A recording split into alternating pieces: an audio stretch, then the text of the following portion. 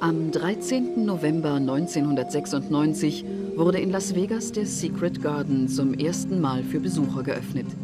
Hier leben nun die seltenen und exotischen Tiere der beiden Künstler. Durch diese Anlage soll auch das Interesse für die vom Aussterben bedrohten Tiere geweckt werden. Im Secret Garden sind sechs der seltensten Tierarten zu bewundern, wozu auch die weißen Löwen und die weißen Tiger gehören.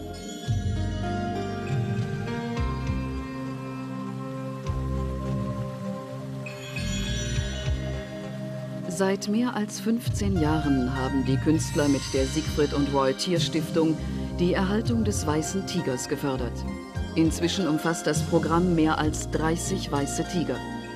Schon zu Anfang ihrer Karriere war den beiden bewusst, dass ein erfolgreicher Magier nicht nur Talent und Ehrgeiz haben muss, sondern auch ein unverwechselbares Markenzeichen braucht.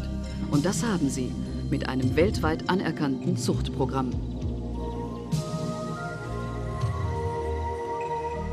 Doch die Tiere sind für die beiden Künstler mehr als nur Teil eines Zuchtprogramms oder gar Showdekoration.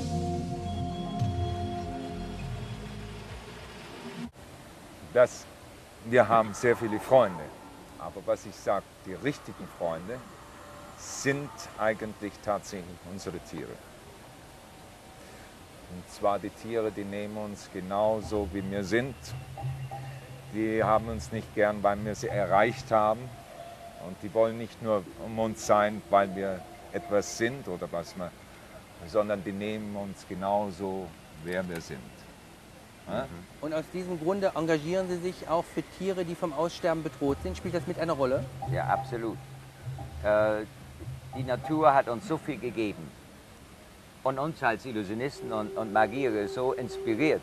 Ich meine, es ist ja alles in der Natur da, die ganzen Naturelemente vom Feuer und Wasser, von Erdquicks, von Regen und Sonne und es ist ja alles dort. Man, hat, man tut sich eine Lebensaufgabe. In den jungen Jahren denkt man eben an den Erfolg und dass man das erreicht und so und so. Oder wenn die Eltern gesagt haben, also, pass mal auf, du musst das äh, Geld zur Seite legen, damit du in den alten Tagen was hast. Das haben wir alles erreicht. Doch der Anfang war schwer.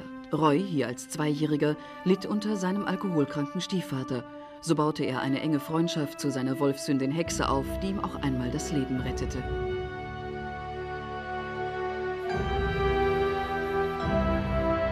Ein ähnliches Schicksal hatte auch Siegfried. Auch sein Vater war alkoholkrank und er und seine Geschwister vermissten die elterliche Liebe.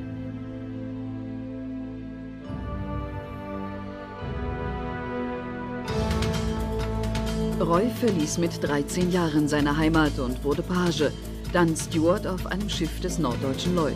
Und auf dieses Schiff schmuggelte er auch den Leoparden Chico, sein erstes exotisches Tier. Auf hoher See kreuzten sich dann die Wege von Siegfried, der Steward war und gleichzeitig die Passagiere mit seinen Zaubertricks begeisterte, und Roy. Die Folge? Ihre erste Tierillusion. Dazu noch auf einem Schiff.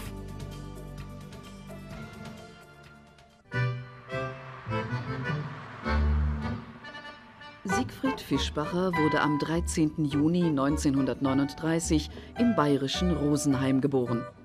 Nach der Volksschule erlernte er die Teppichweberei. Doch bereits als Zwölfjähriger begann Siegfried Zauberkunststücke vorzuführen, auch um Anerkennung zu finden. Was halten Sie davon, dass so ein Rosenheimer Junge aus so einem kleinen Ort so ein Weltstar? Finde ich klasse. Ja. Finde ich klasse. Ich weiß selber, wie schwer das ist, aus Rosenheim rauszukommen. Ich kenne Siegfried schon von seiner Jugendzeit her. Hab deshalb auch die ganze Entwicklung von ihm verfolgt. Und man kann eigentlich nur zusammenfassen, super und spitze. Ich finde diese Geschicklichkeit dieser Männer also fantastisch und wie die aufeinander eingespielt sind. Und diese, vor allen Dingen diese, dieser Kontakt mit den Tieren, ja. die bewundere ich sehr. Schon als Junge schickte Siegfried seine Fantasie auf Reisen. So schlich er nachts in den Theatersaal des Rosenheimer Kolpinghauses, schaltete die Scheinwerfer an und träumte von seinem Publikum und seinem Beifall. Wenn man sich vorstellt, er hat sich das vorgenommen und hat das Ziel, das er erreichen wollte, erreicht. Schon von Kind auf hat er gesagt, er möchte mal ein ganz ein großer Zauberer werden, was ich an und für sich nicht für Möglichkeiten habe. Ich habe schon in seiner Kindheit hat uns so den Bellachini vorgezeigt, sowas möchte er mal werden. Und ich war nicht der Meinung, dass das so weit kommt. darauf bin ich natürlich sehr stolz, dass er seine Vorstellung realisiert hat. Also Sie haben das mehr so für einen Spleen gehalten? Ja, wie er jung war, war das für mich so ja, Theaterspieler und so ein kleiner Zauberer, aber recht viel mehr wird nicht draus werden, habe ich mir gedacht. Weil auch die Zeit nicht so war. Die ganze Zauberei, die ganze Varietés, das ist alles im Versinken gewesen. Ich war nicht der Meinung, dass man da noch was aufbauen könnte. Und er hat darauf gehofft und gedacht und gearbeitet und es ist das rausgekommen, was man heute sieht. Die Magie bot Siegfried die Möglichkeit, den unglücklichen Verhältnissen in seinem Elternhaus zu entrinnen. So nahm er jede Möglichkeit wahr, um aufzutreten. Wir haben auch bei seiner Schauspielerei manchmal mitgespielt. Ich kann mich noch erinnern, er hat uns so ähm, Essiggurken einmal umgehängt und da haben wir getrommelt mit zwei Holzknüppeln und einer hat vorne dran ein Schild getragen und da ist drauf gestanden, heute Nachmittag bei Fischbacher Theater, Eintritt zwei Pfennig. Dies alles hat sich vor über 40 Jahren in Rosenheim abgespielt. Doch obwohl sich Siegfried mittlerweile mit der amerikanischen Denk- und Lebensweise identifiziert, ist er im Inneren ein Deutscher geblieben, ein Rosenheimer. Rosenheim, das ist äh, immer noch mit mir. Es ist in der Bewegung, in der Sprache und in die Art, wie man denkt so wie der Siegfried kann nur ein Rosenheimer denken. Ne?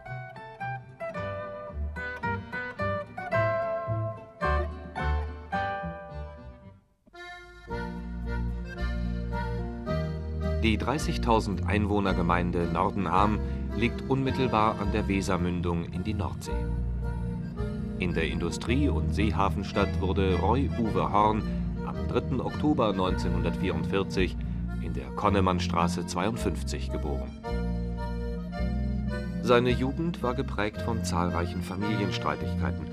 Er flüchtete sich in Träumereien. Wie er heute betont, waren diese Fluchten ins Reich der Fantasie gesunde Abwehrmechanismen für ihn.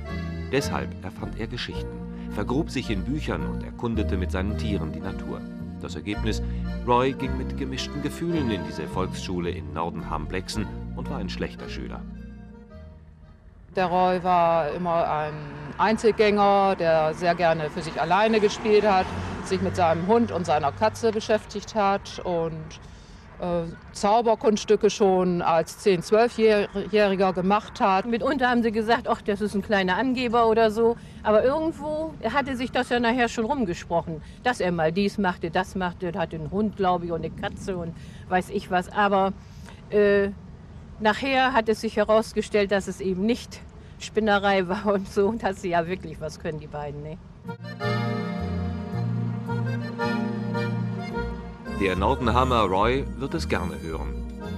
Denn wie Siegfried betont auch er immer wieder, dass er sich nie von seinen Wurzeln gelöst hat und sich immer noch seiner Heimat verbunden fühlt. Man kann um die ganze Welt gehen und man, man kann äh, den Deutschen aus Deutschland rausnehmen, aber kann das, das Deutsche nie aus seinem Herz nehmen. Das ist, wird immer die Heimat bleiben und es wird immer ein, ein Bestandteil von uns sein.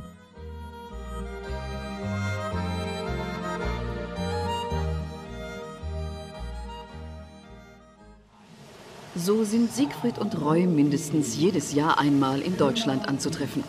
Hier in einem deutschen Safari-Park eröffnen sie beispielsweise die Anlage mit den weißen Löwen von Timbavati, benannt nach einem Nationalpark in Südafrika. Sie erhalten als Geschenk vom Parkbesitzer zwei weiße Tiger, denn seit Jahren gibt es hervorragende Zuchterfolge mit weißen Tigern im Safari-Park.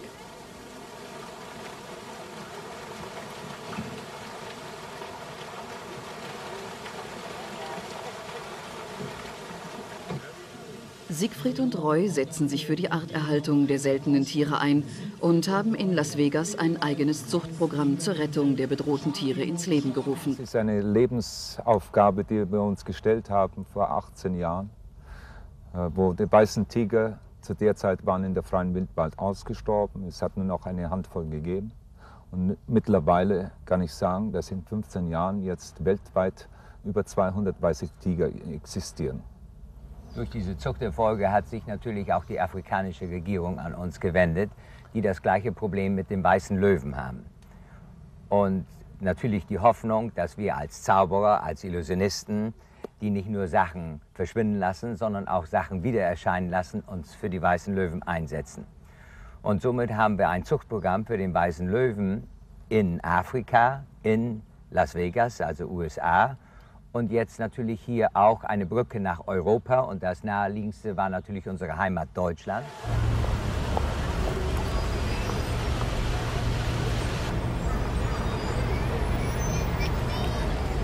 Hier in Stukenbrock in Ostwestfalen übernehmen sie gleichzeitig die Patenschaft für Europas einziges arterhaltendes Zuchtprogramm für die bedrohten weißen Löwen. 14 Exemplare gibt es nur noch auf der ganzen Welt.